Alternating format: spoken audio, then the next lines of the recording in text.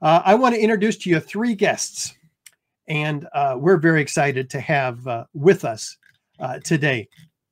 Um, uh, first, uh, Dylan Avery, an acclaimed filmmaker with numerous documentaries, short films, music videos to his credit. His film on police brutality, Black and Blue, won the best documentary at the Catalina Film Festival.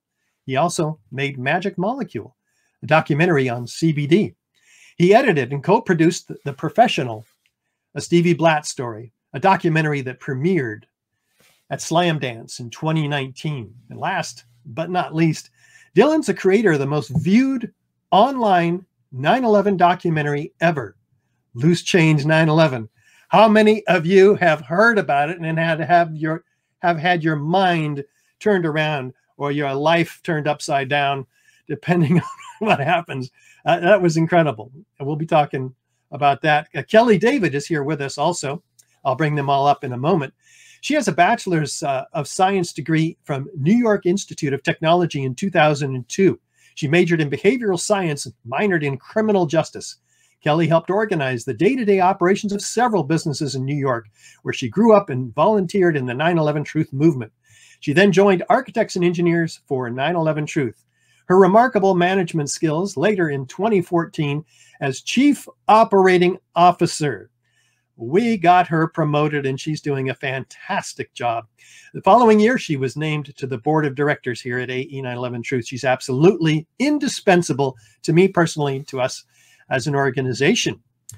Finally, I want you to meet the star of the film that we're going to be talking about today, the author of the four year finite element analysis computer modeling at the University of Alaska. Professor Leroy Hulsey, PhD, PE, SE, structural engineer. He was the chair of the Civil and Engineering Department at the University of Alaska in Fairbanks until his retirement in May. During his 50 year career, Dr. Hulsey taught at the University of Missouri in Rolla, North Carolina State University, and at UAF. He served in the American Society of Civil Engineers, the American Council of Engineering Companies. In 2020, with funding from us, he, he did complete that four year computer modeling study, which is changing the landscape in the academic and uh, institutional uh, careers and uh, uh, fields in engineering.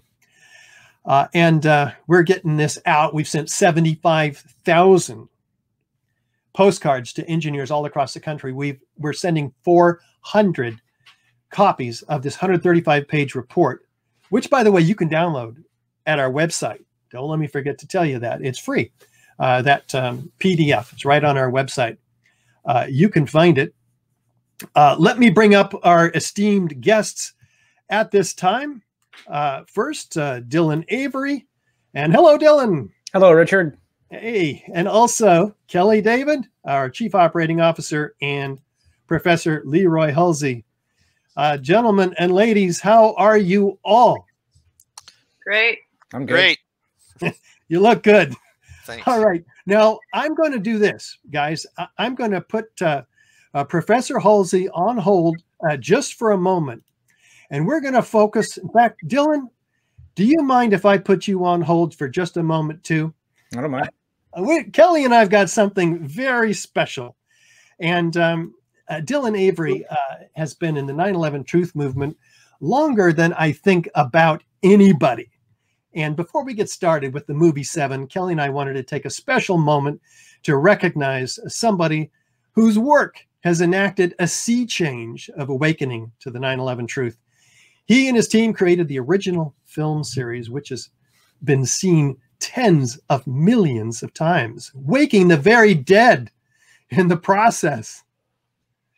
Yes, we're talking about Loose Change 911. And yes, we're talking about an original 18 year old hero in the 911 truth movement 19 years ago. He was a teenager when he asked himself this, when he, when he tasked himself with this monumental achievement. What were you doing as a teenager? Our viewers, if you were like me, you weren't creating a film that changed the world. Take a look at some of this vintage footage of this brave man. Let's go from the beginning then, and just to ask you first of all, why did you start to think that there was more to to 9/11 than met the eye?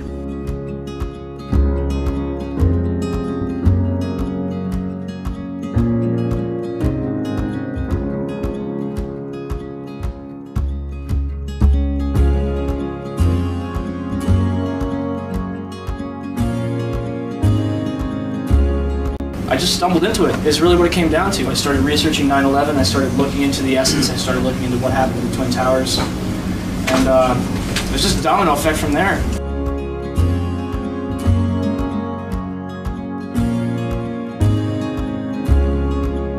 Phil of Let's Roll 911.org, he started advertising it and started you know getting the word out.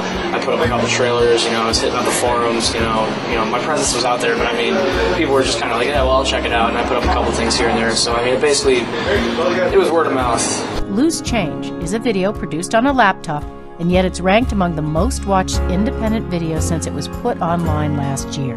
And you suggested we show a part of a, a clip of the documentary Loose Change by Dylan Avery. And that was a film that has been watched by 10 million viewers because you could see it uh, through the internet. what they say, um, it's the things that, you know, um, make you look at what you thought you saw in a different light. As we take on the issue of what happened on September 11, 2001. Our guests are Dylan Avery, writer and director of Loose Change. At 5:20 p.m. on September 11th, uh, World Trade Center Building 7 was a 47-story steel frame skyscraper, 300 feet to the north of the North Tower. Uh, at 5:20 p.m., this building collapses in under seven seconds.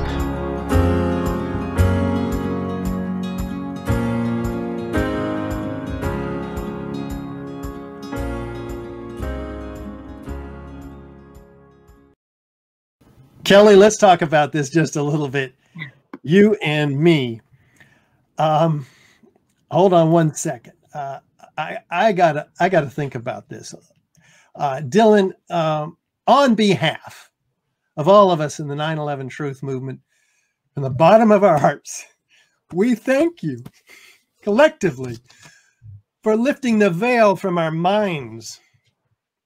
Folks at home, if you have a loose change story that you'd like to share with Dylan, you know somebody who just got literally woken up or dragged through the mud with it, as some of us had to experience our own internal world view turned upside down.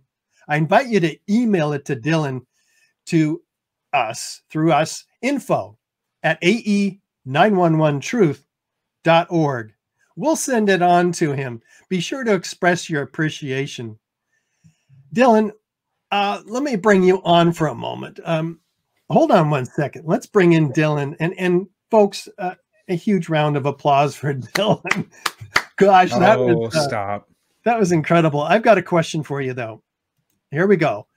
Was it what was it that really inspired you to create this extraordinary film series and put in all that work as a teenager?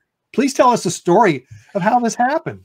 Uh, kind of slowly and gradually. I mean, it, it was one of those things where, you know, it's not like on September 12th I was working on it. You know, it was definitely a, a slow discovery process of looking into the this the slow disbursement of information that was starting to come out in 2002 2003 um the same slow disbursement of video footage um you know things that we weren't really able to see that day on the tv or things that were aired once and weren't really shown again um yeah, it was just kind of a slow discovery process. And it all started with the military's response or lack thereof uh, to the uh, to the attacks themselves. And it just kind of like spiderwebbed out from there. Kelly, you surely must have a, a question for Dylan here.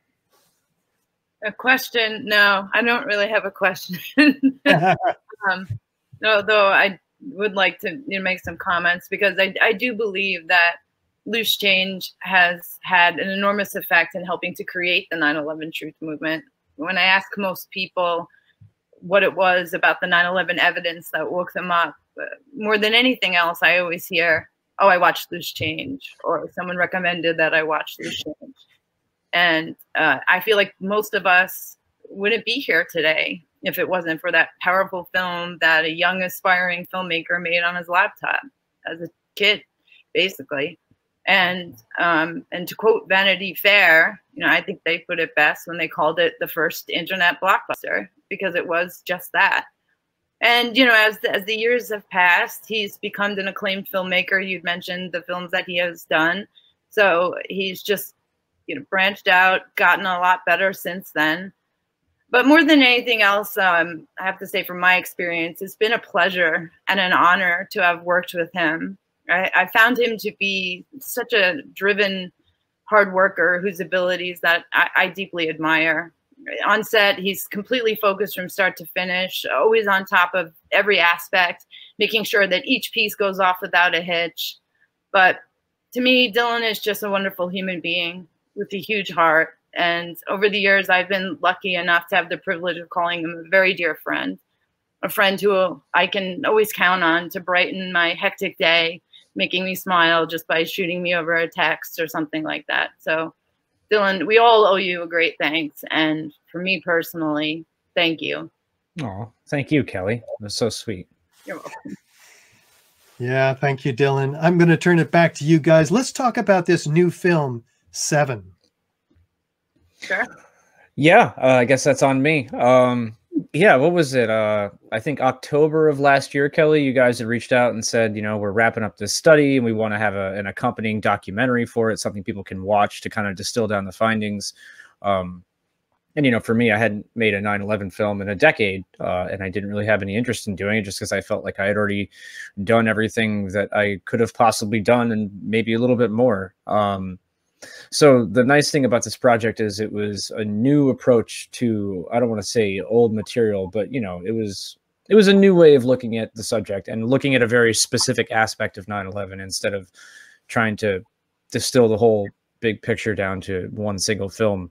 Um, so to me, that was the most exciting part. You know, I got to hire my favorite DP, um, you know, a director of photography, for anyone who doesn't know what that means. Um, I got to hire a director of photography. I got to hire a sound man, two people that I know from Los Angeles that are just amazing at what they do. Um, and it was just a nice opportunity to revisit the subject and to do it through uh, a different lens, uh, both literally and figuratively. Yeah. How, how about you, Kelly? How, yeah. how, how was your time on the set? I thought it was great. Um, everything about it was amazing. I think, you know, on top of all the hard work that we did in organizing everything to make sure that this film was different than your average 9 11 documentary, I mean, and hiring the director of photography, I think that went a long way into changing it from what you would normally see in a 9 11 documentary to something more you would see more cinematic, something you would see on Netflix. Um, and I think you know on on the set, traveling to Alaska, getting to work with Leroy directly, getting to know him, getting to see him interact with his students. Um, it was a wonderful experience, and you know, honestly, we had a lot of fun doing it. I think it was great. I would agree. yeah. So we have um, some clips to show. We have a new trailer uh, that we haven't released yet. Um, I don't know who's going to cue those up. I'm guessing. I th- I think that's on Richard. I think but... that's on Richard. Yeah. So I think we should show the trailer first, and then we have two clips on top of that. We should show the trailer, and then maybe we should bring in Leroy and have Leroy talk a bit. But uh, yeah. uh, you know, I'm not running the show here. That's just yeah. my suggestion. and I'm fine with that. All right. Well, then let's get to it. I, I've, I'm going to show all the clips if that's okay with you guys, uh, and then we'll bring on Leroy because uh, that's the uh, order of events as I have them uh, in my uh, show here. So here's the here's the uh, the, the trailer for for the the new movie. And did you say when it comes out, Dylan? I had a distraction there. No, I mean we're we're waiting to get a final release date from 1091, but that's really the big excitement, the big announcement, one of several to make today is that you know we've partnered with 1091 Media for this project, so it's going to get some legitimate distribution through traditional uh, channels. So that's nice. Yeah, that's fantastic. Did you talk about the traditional channels before I forget to ask you that too? No, I mean there's there's no specifics yet, but I mean I imagine it'll pop up on iTunes and Google Play and you know they might they they did mention streaming platforms. I don't know if that's going to include Netflix just because it's Netflix, but um we did shoot it in 4K, so we do have that going for us. Yeah. Yeah. Fantastic. All right, here we go.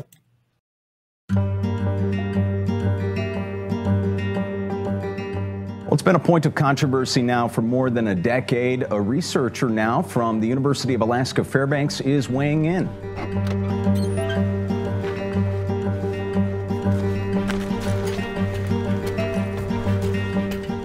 My name is Leroy Hulsey, that's my middle name, and I'm a structural engineering professor here at the University of Alaska Fairbanks.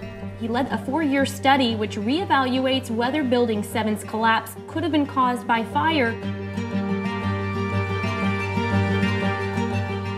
Building 7 of the World Trade Center came down. It was never hit by an airplane. It fell because thermal expansion caused a fire induced progressive collapse. And we'd never experienced, prior to that day, a steel frame building collapsing due to fire. It just didn't happen.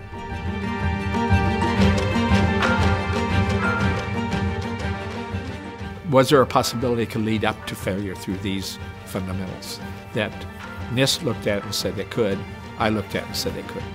The way they modeled it was somewhat pushing the limit, putting it mildly. NIST said it was a fire problem, but yet I did not see any change to our codes. I mean, I think the work that we're doing is ultimately going to make the difference. I have that confidence because I, I know the truth always comes out.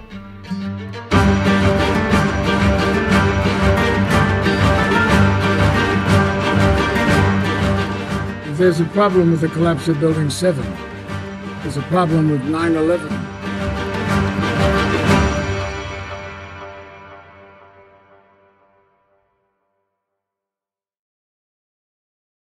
NIST stated that a primary load-bearing girder attached to column 79 became dislodged from its column connections, causing a series of failures through columns 80 and 81, bringing the entire building down.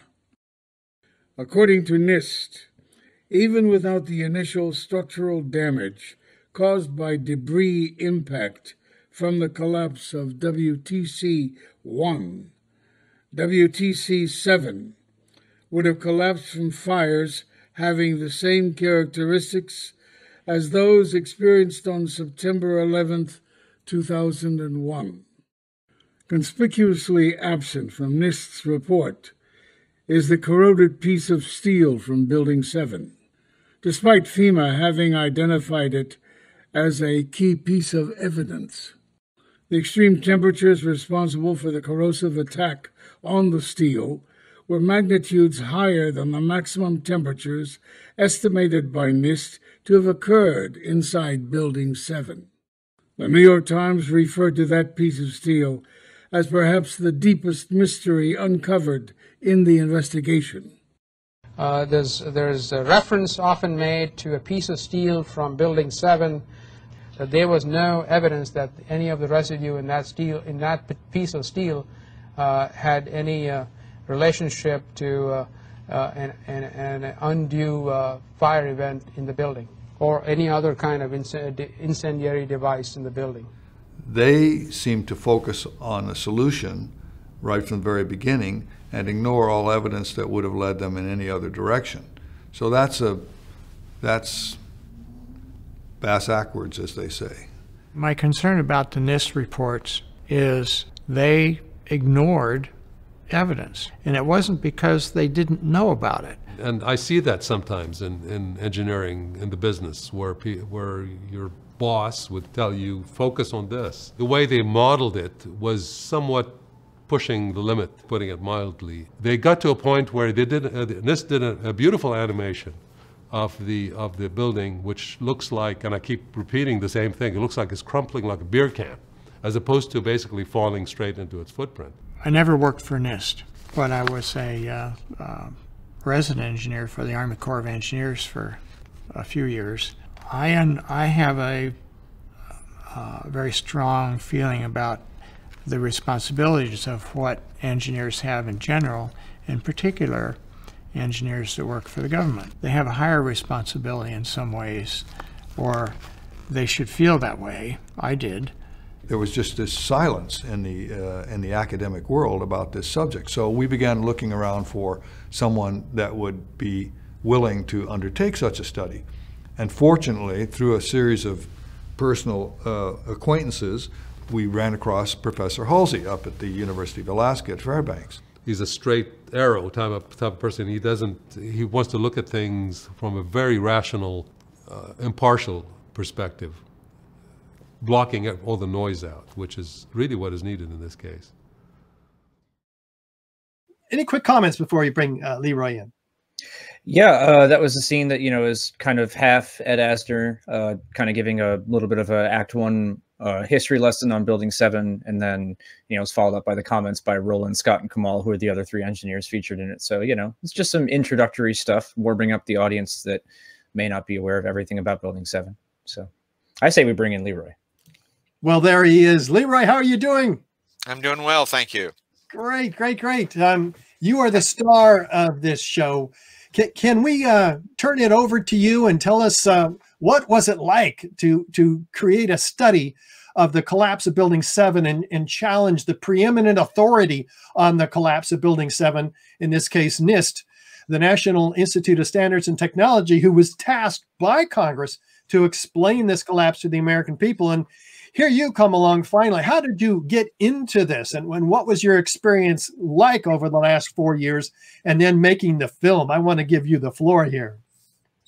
Well, I guess I was approached um, by your people, uh, a gentleman, John Thay, who's uh, in Anchorage, and he contacted me.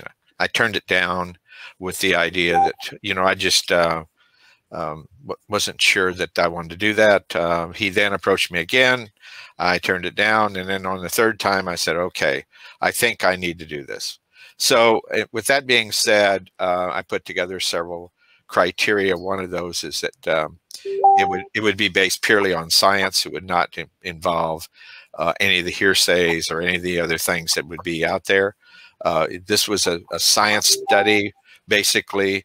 Uh, that's simple. I recruited two PhD students to do this with me, and we set up a, a, a, quality control method by which we could examine the valid the values and the and the study on a daily basis so that we could be sure that what we were doing we all could agree to or we we would uh, question uh, the work that was being done on a daily basis to make sure that what we were given uh, putting out there was going to be scientifically sound so, so that being said, I put together uh, the requirement of having two two finite element programs. One is SAP 2000, which is well known, and the other is Abaqus, which is a basically a research tool and it's very very powerful.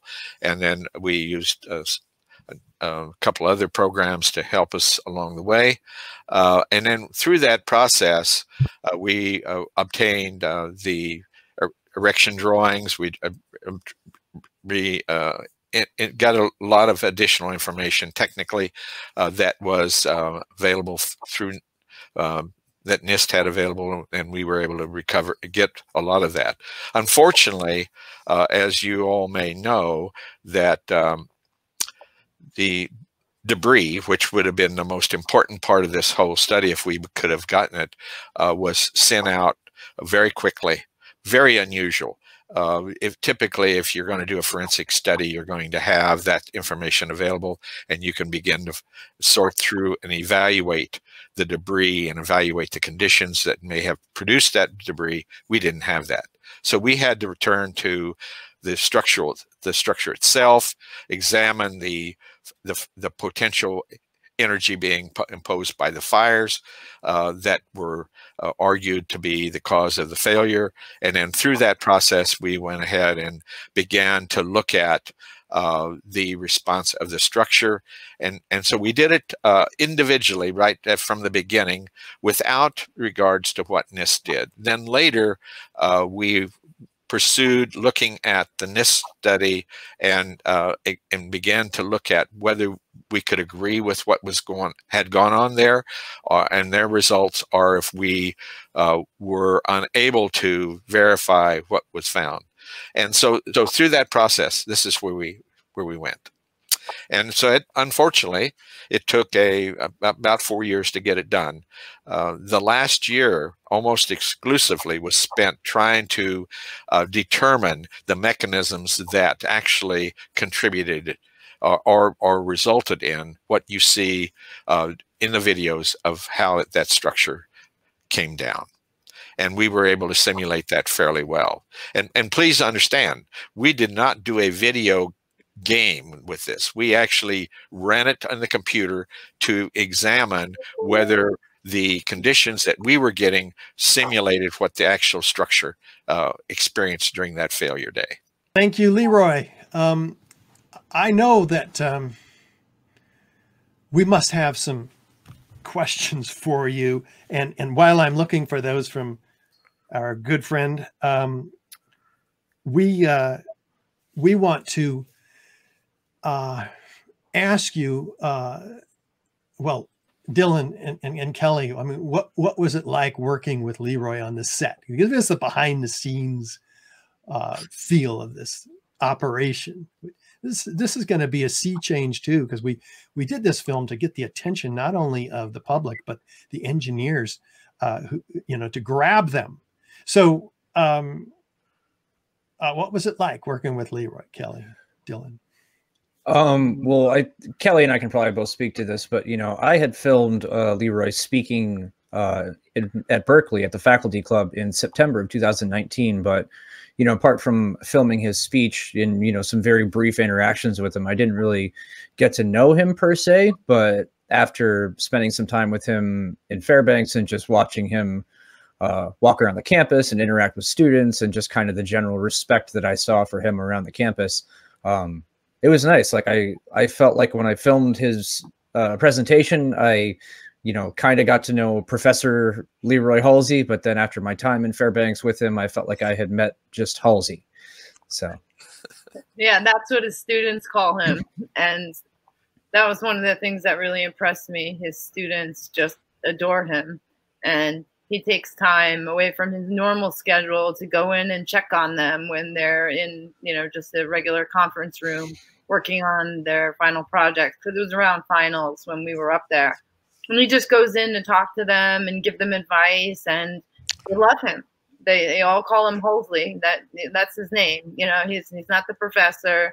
He, he's almost like a friend. And um, you know, just from my own experience, dealing with professors. When you get a professor that's like that and they're they're able to keep your attention, grab your attention, build a good relationship with you, that's when you learn the most. And I just think in being there, working with him, A, I got to know him a lot better and realized that he was even a, you know, great, better person than I thought he was before. But B, to, to see what an amazing professor he actually is. So I was really impressed with that. And yeah, it was, um, as I mentioned earlier, it, it was great. It was fun and to be behind the scenes and get to see all of that and get to know Leroy better. Okay, and Le Leroy, on a technical note, one of our viewers says uh, NIST won't release their computer uh, input data for Building 7. Uh, did that cause any issues with your computer modeling efforts? Uh, no, not really. I mean, uh, we we had their results and their conclusions. Uh, we we modeled and tried to simulate uh, their their findings. We had enough information to be able to make a determination for the most part of what they were doing, and so I wasn't uh, too concerned about that. It was it was clear that there was uh, there there were errors in their modeling uh, unfortunately, and that led them to the conclusions they had. Uh, and so, if you recall my first presentation, I think it was in, may have been in uh, uh on the 15th anniversary. I don't remember, uh, but uh, that's when I pointed out that the building actually moved in the opposite direction thermally that to what they had said and so that was a big big uh, uh, observation right away that there was things that were different that uh, the building had to go through to actually do what it needed to do during that condition based upon the what the limited amount of fires that was in the building So okay, and did did you have to uh, convince uh, the university at all? Was there any trouble working with the university? Any harsh feedback? Any effort to control the outcome of this project?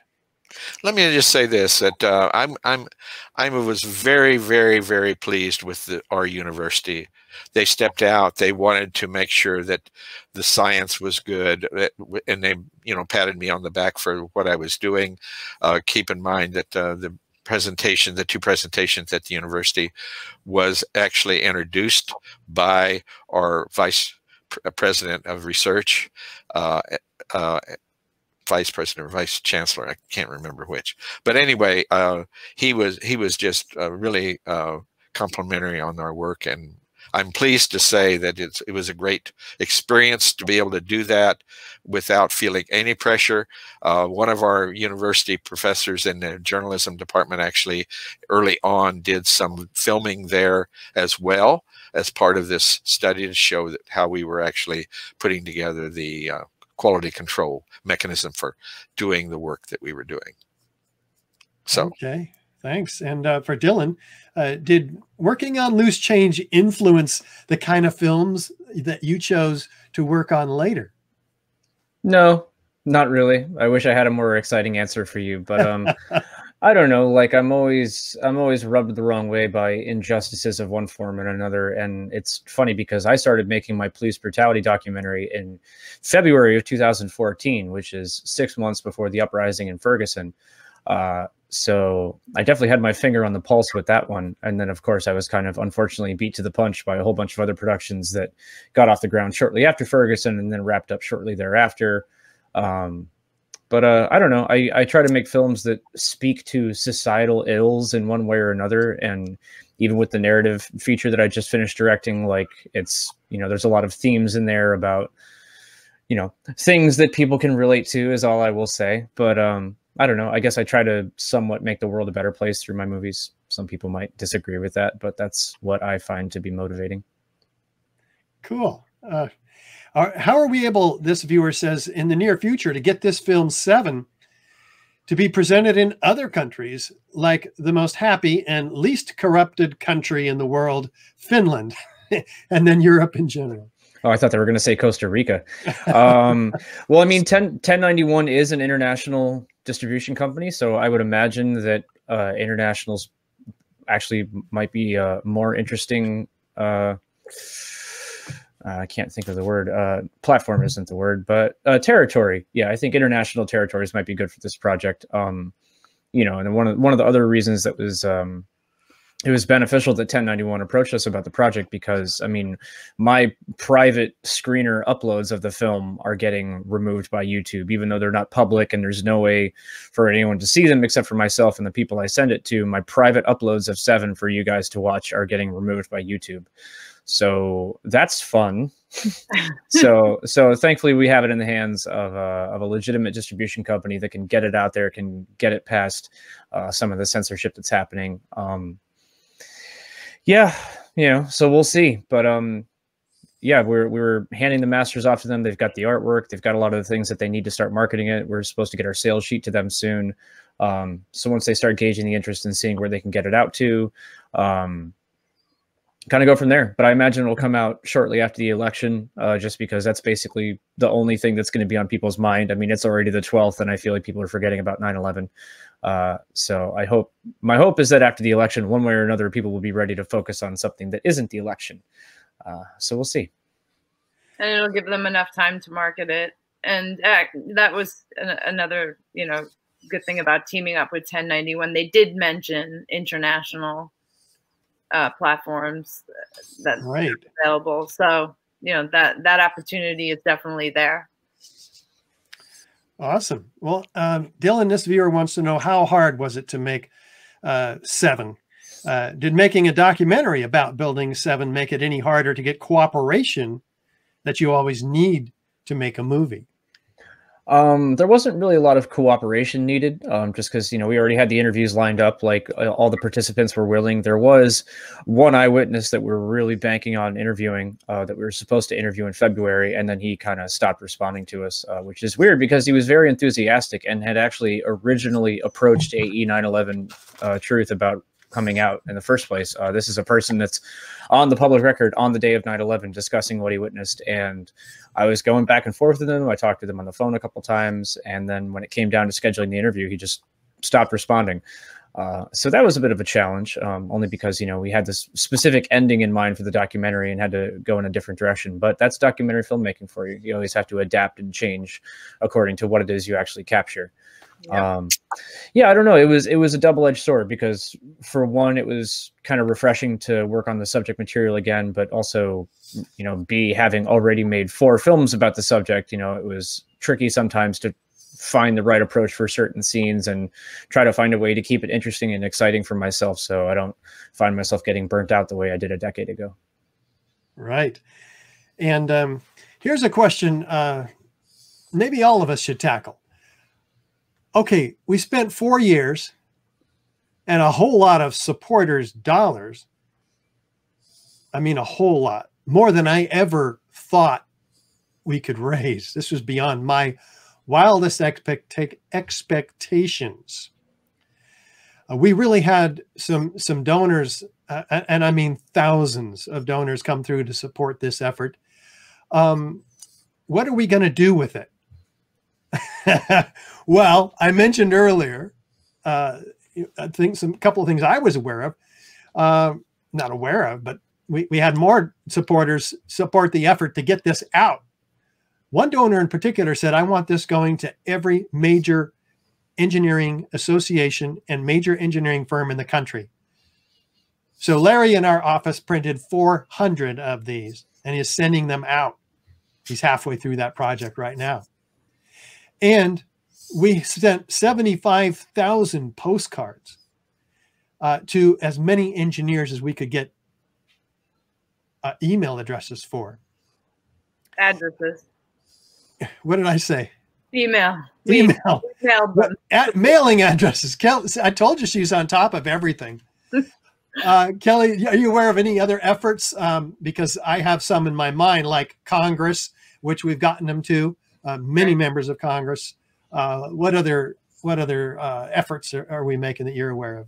I mean, those, those, are pretty much the things right now, and now we're just trying to work on, you know, what we can do. What's the next step? um, you know, we've tossed around a couple of different ideas on how to get this out there, how to grab engineers' attention, like possibly YouTube ads, you know, all these things were discussed. Um, but there isn't anything that we have cemented down now at this moment. But um, this is not something that we're just going to let go. It's not like we did this study, we mailed out a bunch of postcards, we're making a movie, and that's that. No, I mean, just the request for correction alone is just one step in the right direction for this. So, um, yeah, it was a four year study and it cost a lot of money. It was a lot of sacrifices for all of us. And we thank all of our supporters for helping us out here because, as Richard said, he didn't even believe it would be possible to raise that amount of money, but we were able to do it and pull it off. So, this won't be the end. We definitely will do everything that we can possibly do in order to get as many engineers to read this as possible. The key is because it is such a long draft, you know, re report itself, and even the draft report was long. Uh, the report itself is long, and there's a lot of material. Um, so you got to try to grab their attention, and then um, after um, you know we pique their interest, then they can go look uh, deeper into it. And so, um, yeah, we're coming up with a bunch of different things. And uh, as I said before, this is not it. You know, um, it's it's not over. So, um, yeah, time will tell. Soon. And our director of strategy and development, uh, Ted Walter. Um, want to make sure everybody can hear me. Uh, yeah. Yeah, good. Um, we're uh, he reminded us that well, this whole film is about the study. This is the major effort actually that we have to get it out there. We want millions of people to see it. And we're going to send the film itself to every member of Congress to every large engineering firm and association. And not to mention the request for correction, which we covered in detail yesterday. 100 page request, which focuses on the results of this study, which completely pulls the rug out from underneath NIST's uh, initiation of collapse theory that this building came down due to normal office fires. Uh, Professor Hulsey, did this building come down due to normal office fires? No. and as they so famously asked you at our Justice in Focus conference, the attorneys whom you were testifying before, if you were to give a, a letter grade to NIST uh, on their final report of the World Trade Center 7 collapse, uh, what grade uh, would you give them? Uh, you give students grades all the time. Uh, what would be NIST's grade for this project of theirs? Well, it wouldn't be good. uh, probably a D or an F. and why? Well, they had the wrong conclusions. They had the wrong. Mo the model wasn't accurate. Uh, they uh, ignored things that were actually uh, used during construction that they said were not. I mean, there was a number of factors that were not uh, exactly what was supposed to be there. And so that led to conclusions that were inaccurate. Okay, then. Uh, one viewer says uh, to you, Professor Hulsey, wants to know Did you model actual controlled demolitions to compare it to Building 7's collapse? I did not. What I did is I looked at the conditions that were necessary to bring it down, to look to uh, what we began to see in terms of velocities. We had a, a dynamic analysis that we were looking at and and looking at uh, taking out the structural pieces that that would give it uh, the conditions that that you actually see. And so through that process, we were able to uh, almost uh, duplicate uh, the the velocity that was going down and and the parts of the structure that had to go down. That took us over a, almost a year to get that that to happen, to show that uh, the other things that were being said could not actually have occurred. Okay, so there's one other uh, question here. Uh, Professor, did you simulate what the fall of World Trade Center 7 would have looked like under the failure that NIST insists happened, i.e., the slipping off of one end of a beam under the heat of a fire. We did. The, the building would have not come straight down. Didn't happen. Is there any credit you can give NIST at all? Well, I'm I'm not sure uh, how that all transpired. Uh, NIST NIST is a, really really typically uh, an outstanding uh, facility. They provide very good help for all the engineers. For this study, it, it had to be uh, through. I, I, just don't know how that how that could have occurred to end up with the uh, inaccuracies in the study.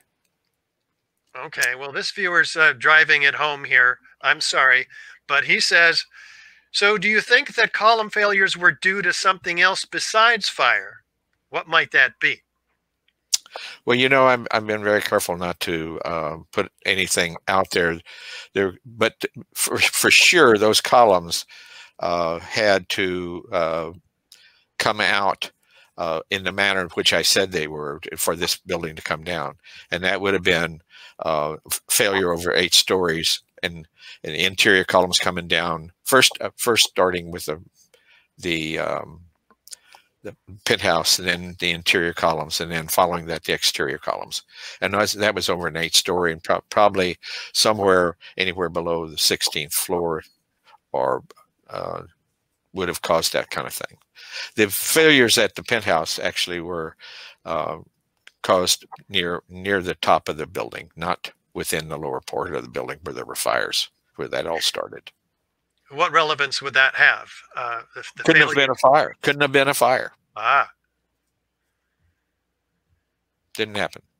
Okay. Kelly, you've been with AE 911 Truth for how many years now? Seven. What do you think brought those buildings down? Huh. Personally, um, I just don't see how it could be anything other than a controlled demolition, in my opinion.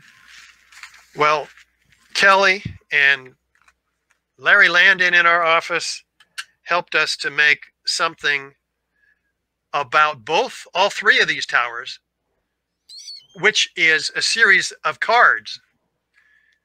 Uh, and if if somebody has taken the time to look at this evidence, like we're going to be providing Roland Angle and myself uh, in in the next segment, actually, um, these cards are very handy. If, if guys at home, if you've looked at the evidence and you're convinced that it was a controlled demolition, then I am personally asking you to do something about it. And I'm going to give you some options. Hand these out at a table on your street and the brochures. These are the 9 11 Truth Good for America brochures with all the evidence and an insert in there and why America needs the 9 11 truth so much, especially at this time. Um, we're going to give two 100 packs away. So just email me at info at ae911truth.org, put your address, and put brochure, and I'll send you those. Write card. We're, we're going to give two 50 packs of each of these cards to you right now. We will mail it as soon as we get your address at info at AE911Truth. Just put cards. So, um, and these things are available in our store if you're not the lucky winner of the first two. What I sound like I'm on TV or something. Anyway, um, we've got more exciting things that are all these are in the store, but but we want to we want to give them away. Why? Because we're encouraging you to spend your money not on products right now, but uh, to support the effort of Matt Campbell because the evidence that Leroy Hulsey has put together in this four-year study is going straight into the UK court system within a month, and we are uh, we are going to be turning things upside down there because the attorney general has no choice really, given all the veracity of this evidence. It's irrefutable and overwhelming uh, to uh, appoint a new uh, inquest into Jeff uh, Geoff Campbell's death, his murder in the North Tower. So um, that's what I wanted to tell you guys, and I have another question for you, Leroy. Uh, so do you think? Uh, no, wait.